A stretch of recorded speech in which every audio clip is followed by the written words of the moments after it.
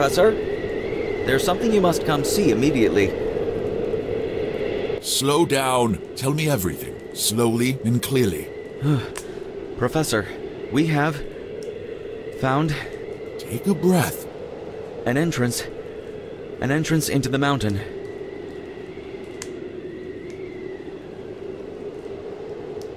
An entrance into the mountain. Yes, Professor.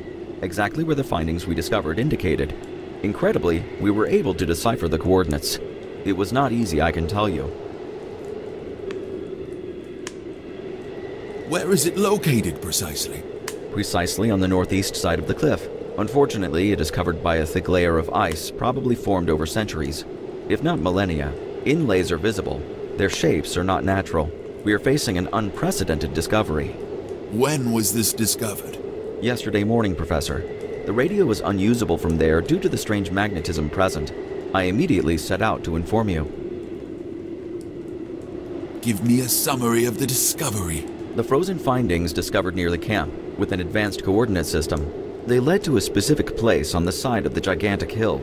There we discovered an entrance, completely frozen over, but not of natural formation. The radio does not work due to the strange magnetic field in the area.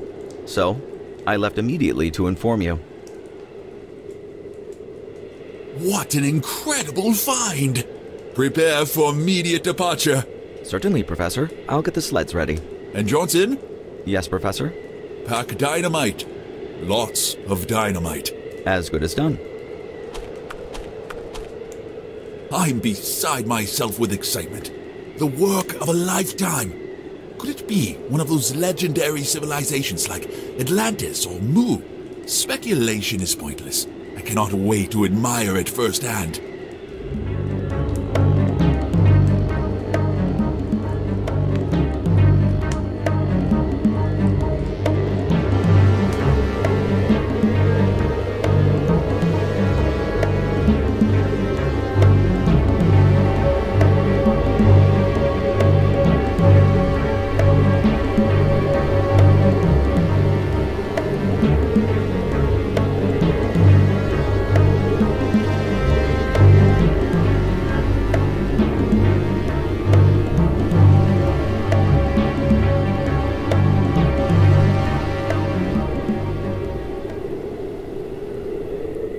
Is ready, Professor. To you goes the honor. Gentlemen, here, today, we make history. In this remote place, at the edge of the world, we, with me to guide you, have made the most sensational discovery ever recorded in the annals of history. Signs of intelligent life in a place no human has ever set foot before. This will be spoken of for eons to come, and it will radically change everything we thought we knew. Forever! Professor, everything you requested is ready. Thank you, Danforth.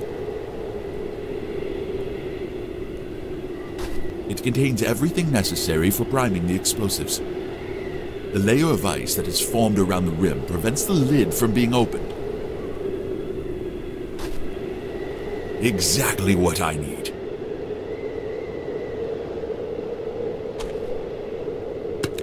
I've done it. Everything needed to make the detonator is contained inside. All that remains is to collect them and mount the charge. Perfect.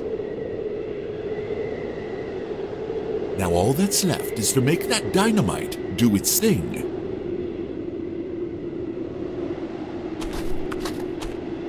Everything is in place. Stay back.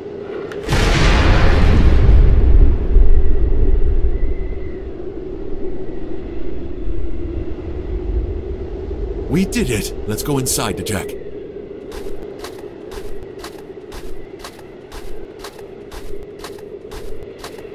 Atwood! Danforth! Dyer! Organize the equipment, gather the men, tie up the dogs, and follow me.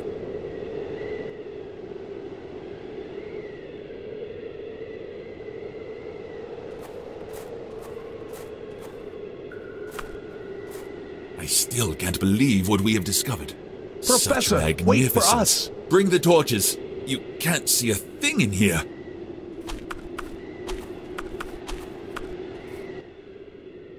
What do we have here? We need lights.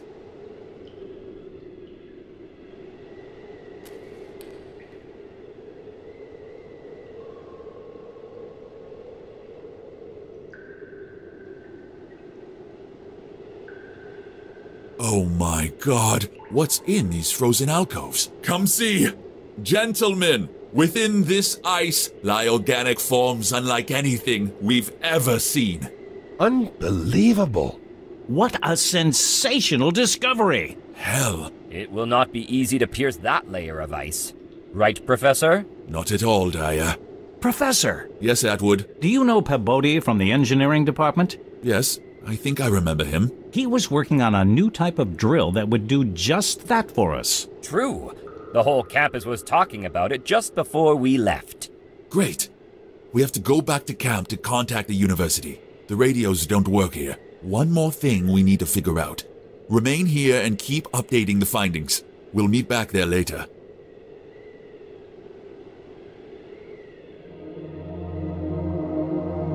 Hey, what's this here? What? There's something stuck in the ice. Help me get it out. This could be worth a fortune. You know that everything recovered from an excavation must be handed over to the professor. Really? And what if I told you that I know someone who will buy it, and you'll never have to work again for the rest of your life? Sounds tempting. Let's see what it is first.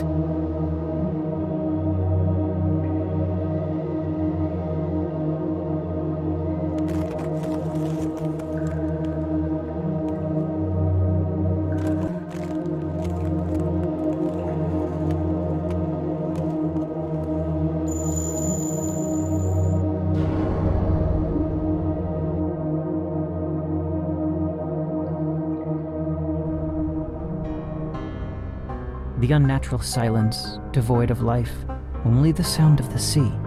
Lone hadn't heard anything else for days. He felt no pain, but he could not stand. He could only crawl. At least now he could do that, and felt slightly stronger. But where to go? That was the problem. How would he escape from that hellish town? Innsmouth.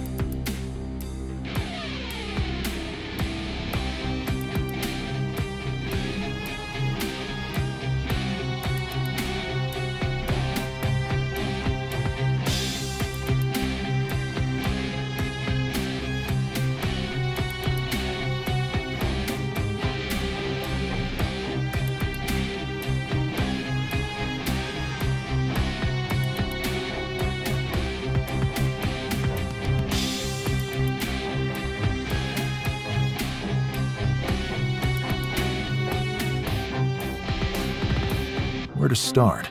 Well, it's not exactly easy for me to tell you everything I've been through. There's a turn of phrase that has stuck with me over the years. I read it in one of those collections of fantastical stories that are so popular these days. The author says something about the sea of ignorance in which we all swim, and he is dead on. How I would love to have drowned in that sea, and to have continued my life as if nothing else mattered. Maybe I could have died happy, or at least at peace, but I digress. This all began for me with a call from a certain Armitage of Arkham's Miskatonic University.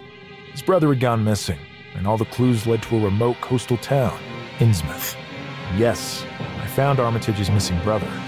He was already gone, and from a violent death, chained to the wall of the labyrinthian caves beneath the town. The sole survivor I met was a fellow missionary priest, still alive. The fools. They were crazy enough to believe that they could freely preach their religion in Innsmouth. Priest told me a story I dismissed as mere invention at first. tiara holding the power to awaken unclean creatures from the fringe of imagination. But in the end, I came to believe his tale. I recovered that unholy relic. There, a shapeless mass, a horror beyond description, surged forth and attacked us.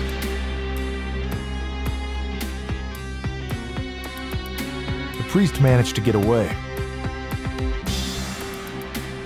I was not quite so lucky.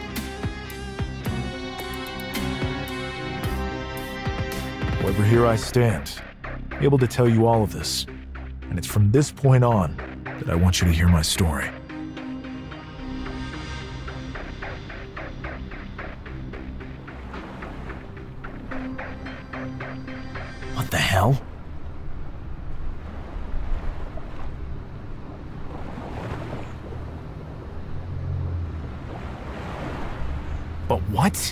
That insane creature grabbed me. After that, I remember nothing. I have to get out of this godforsaken town. At least I'm still in one piece.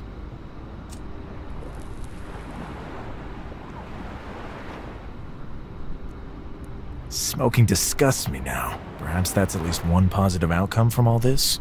Anyway, I never learned how to swim. I'd rather die right here than go back in there. The entrance to the labyrinth of caves that runs beneath Innsmouth. Looks like a plank from a broken crate. I'd say, knowing what goes on around here, that the crate was most likely thrown overboard in the scramble to avoid official scrutiny. An idea is forming in my mind about how to get myself over to the other side.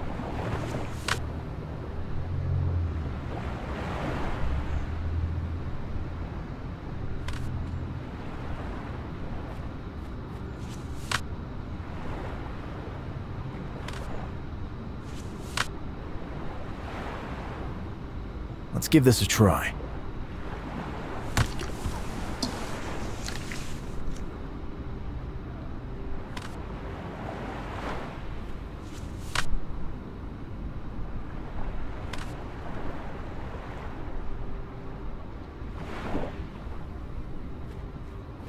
Some strong looking reeds. Could come in handy.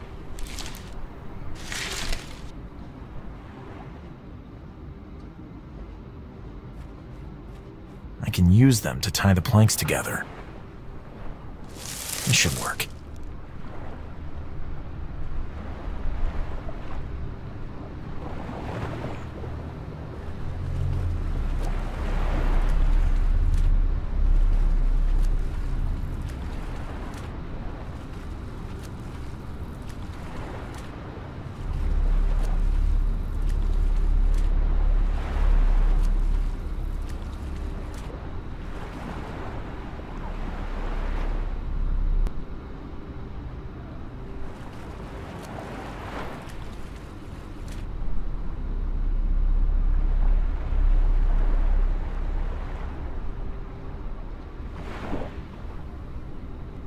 Hey, you! Come over here. Stay out of sight. Shush. Don't make the slightest sound. Please. Rest at ease. You're lucky you ran into me first. I'm the only one in town you can trust. I just want to get out of here. To the northeast, you will find an old abandoned railway that leads out of town. And now I'll go distract them for you. You get to move on and keep your head down. Thank you. I hope I can somehow repay you one day. A good bottle of whiskey is never unwelcome. Speaking of which... Well, do you have any whiskey for the good Zadok? Shut up, old man. Why do we even let this smelly old tramp camp out at our town? So, about that whiskey. Or would you like me to blab some of your secrets to the guy who works in the drugstore? After him. Sure.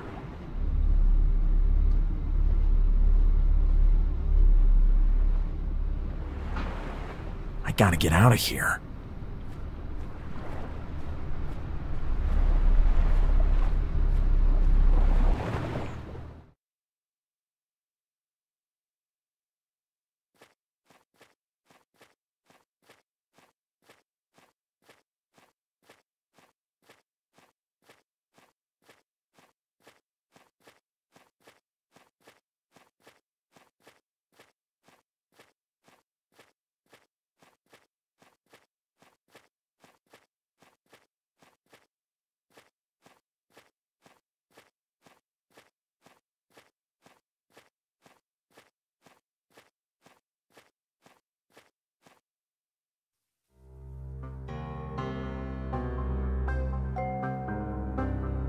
He traveled in seclusion out of fear that they were following him.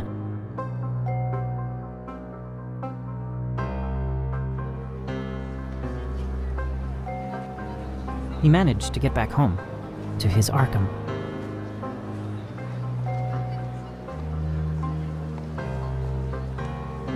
He couldn't, however, rid himself of the sense of dread he had brought back with him.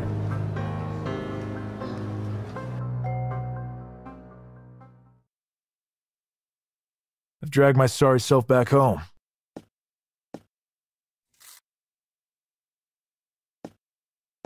Now comes the difficult part. But first, I must grab some shut-eye and a change of clothes.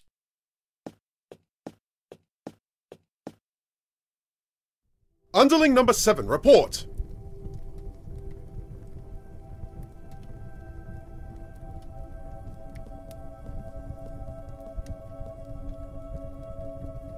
Master. I hear you have some news of interest for me. Yes, Master. Sadly, I must report that the Marshes have failed to keep the tiara in our possession for the upcoming ritual. Very unfortunate. You just can't trust those damn fishmen. But we will remedy that. Continue. Yes, yes, Master. One of our Innsmouth affiliates reported something extraordinary. Some private investigator was attacked by the unspeakable creature that dwells in the labyrinth of tunnels, yet somehow survived. What? Nobody has ever survived a Shoggoth. Track him down.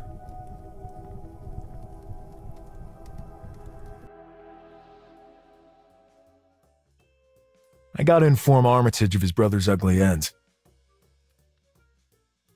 Maybe I will also tell him something about the strange tiara, and about Elliot running off with it. Perhaps his contacts can look into all that further. It could actually be dangerous, but who could even tell after all I've been through? Surely they don't lack for weirdness in that town.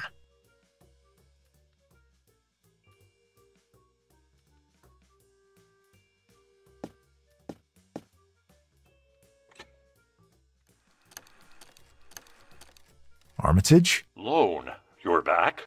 Finally. I've been waiting on news from you for weeks. I was beside myself with worry. Weeks? Yes. 33 days to be precise. But enough with the prattling. Have you found my brother?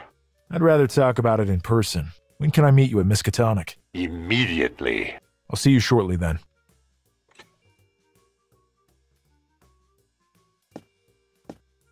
Armitage was right. I must have passed out there on that shore for longer than I thought.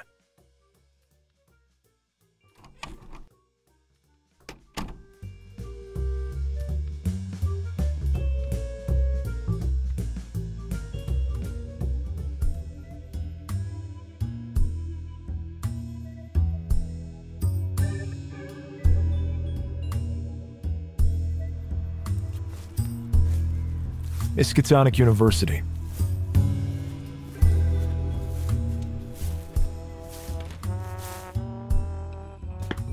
Lone Carter. Yes? Go on in. Armitage is waiting for you. Thanks.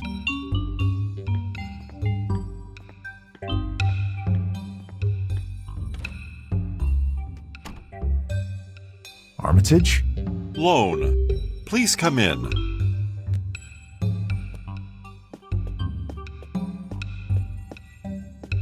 Sorry, I was just wandering around studying some texts. You look well. I have some bad news for you. Go on. Your brother didn't make it. I'm sorry. How did it happen? I'm not sure you want to know the details right now. It's what I paid you for. I found him in the tunnels that run under Innsmouth. I didn't make it in time. Who did this? Who? It seems the laws of civilized society mean nothing in Innsmouth. Apparently, your brother and Elliot stuck their noses somewhere they shouldn't have. This Elliot you speak of was dead too? No, he was still alive when I got there. We both escaped with our lives by a hair. An impossible creature attacked us. I still have no idea how I managed to survive intact. Unfortunately, I don't know where Elliot ended up. I'll need a few days to make some inquiries. I will get back to you soon. In the meantime, try getting in touch with one of my contacts, man by the name of William Blanco. He writes for those cheap pulp magazines, but is also an expert on the occult. He often comes by here. He simply devours the rare texts that only we possess. Sadly, I do not know his address or even a telephone number, but I'm sure for a detective of your reputation, finding him will be but a trivial matter. Discuss with him everything you have discovered, and I'm sure he will get back to me. I'll see you later then, I guess.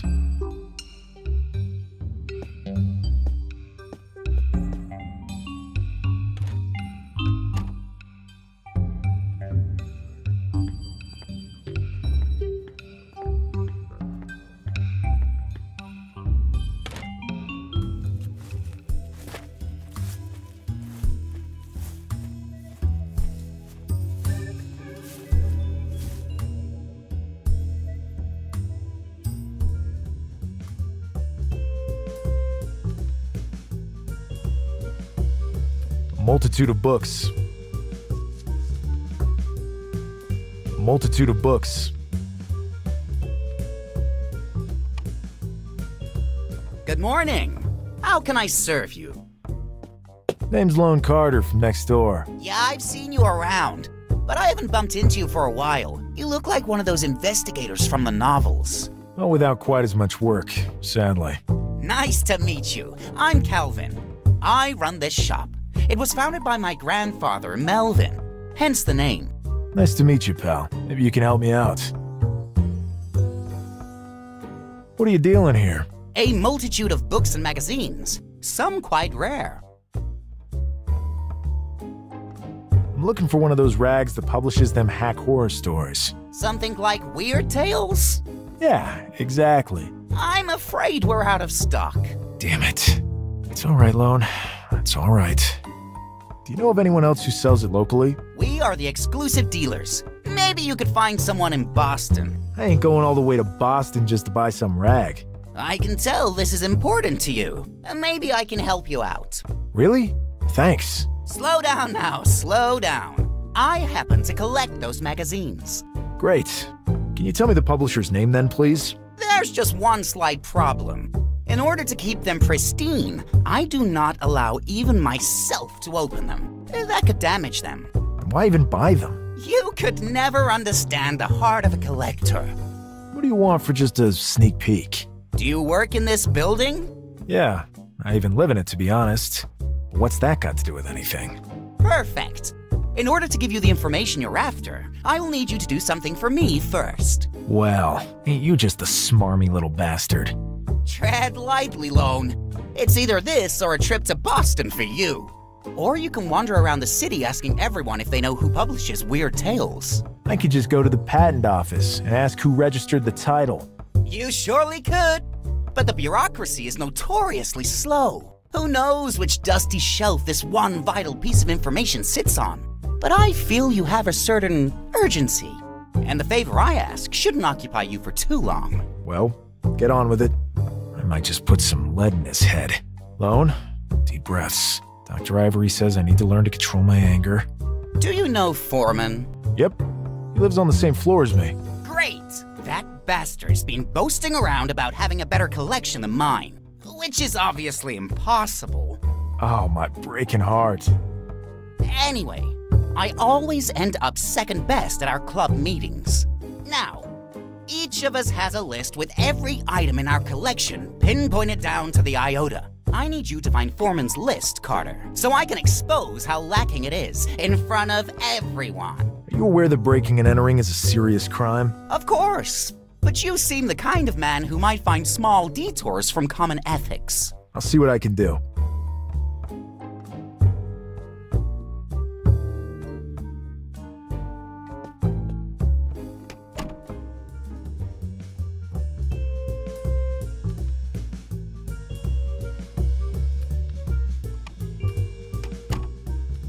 Mailman must have been by while I was out. Strange. I was gone for more than a month and there was no mail waiting. And then the moment I'm home, here some is.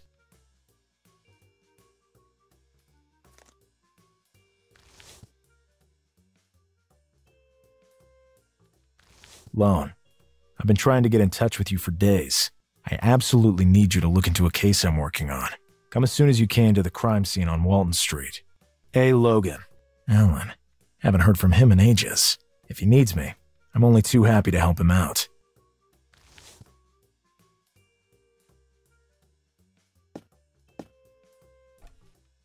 A spare set of lockpicks. A good find. I lost my last pair in Innsmouth. This could come in handy.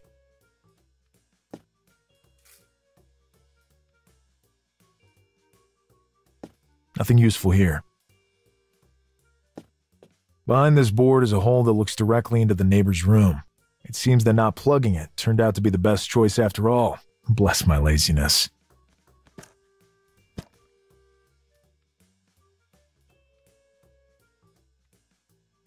That seems to be what I'm looking for. I can see Foreman's desk from here. Over there is the list I need.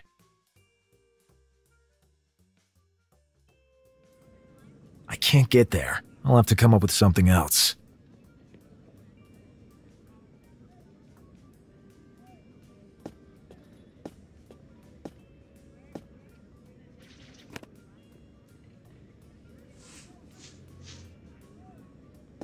Long and thin object. It will probably end up being of some use eventually. Well, more so than merely as a broom anyway. I could always put it back together if need be.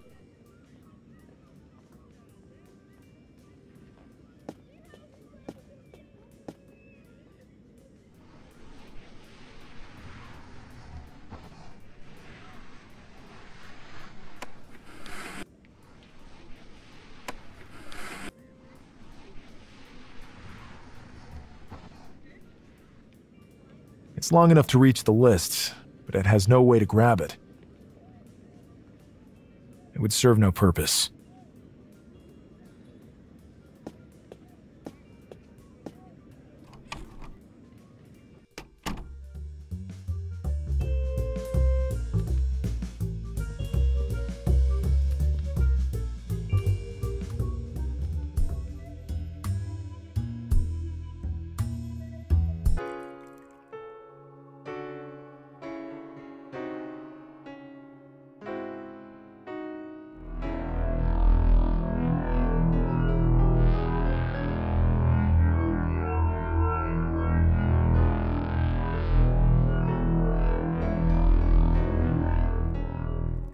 You're not supposed to be in here. Wait!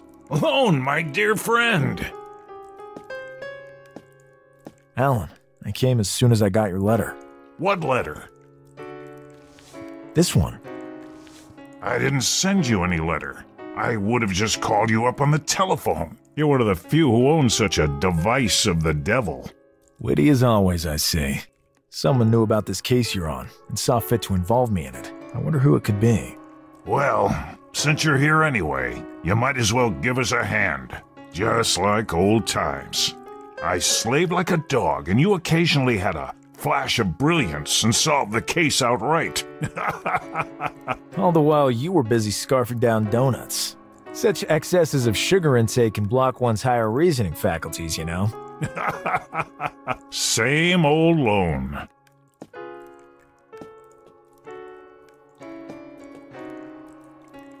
Ritual homicide? Bud, fill my friend in on this whole gruesome affair. Certainly, Captain. The landlady called the station this morning to report that she had found Mr. Gillum hanging, mutilated, here in his room, with Sarah Rupert disemboweled in the bed. Did the lady in question have access to the victim's room? That has yet to be established. I spoke with her earlier. Apparently, she found the door ajar. I doubt she was lying, given the state of shock she was in. It's unlikely she has the stomach for such a macabre act. We had to call an ambulance to tend to her. She was fainting at my feet. The corpses were gutted. Liver and pancreas of both have been removed. And even more disgustingly, his eyes and mouth have been stitched shut, besides the fact that his lower half is still yet to be found. Records show that the girl over there, Sarah Rupert, did not reside here. It's possible they were dating and she was merely in the wrong place at the wrong time. The victim was a student of parapsychology at Miskatonic University, originally from Haverhill. He lived here to take advantage of the low rent neighborhood. Probably couldn't afford a room on the university campus. Difficult for such a person to make mortal enemies. He was most likely just easy prey for our killer due to his withdrawn lifestyle. We will investigate his acquaintances more thoroughly. In the meantime, feel free to take a look around, but don't touch anything. Alan? Yes? How's it going? Good, Lone. A lot has changed since you left. My promotion up the ranks has been quite stressful. Ah, congratulations. I hadn't heard. Thanks. I'd like to know who sent that letter in your name. I have no idea how to look into that any further. But it weighs heavily on my mind, too. They know who both you and I are. Yep. Can you tell me anything more about the victim? We've already given you all the information we have so far. I get a feeling this is going to be a rough one. But luck sent you here, right?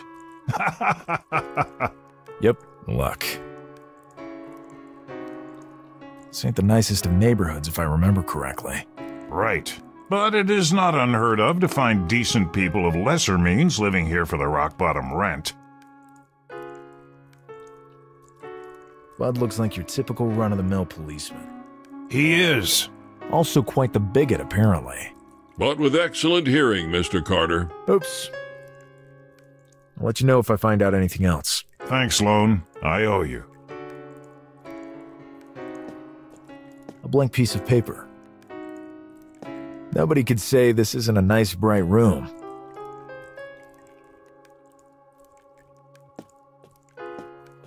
Horrible. Who could do such a thing? An integral part of the crime, a very laborious ritual. The victim's blood was collected in this basin. Weird residue lay around it, almost like someone drank from it. Or girl. A strange mechanism to block out the sun.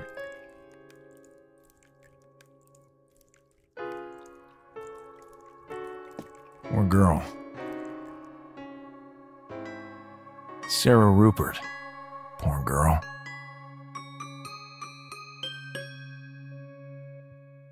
Surgical work. The internal organs have been removed. What kind of maniac would do this?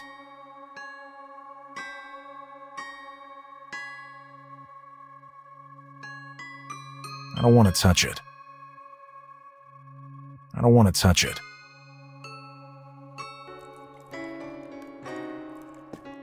Ugh, I don't want to touch that.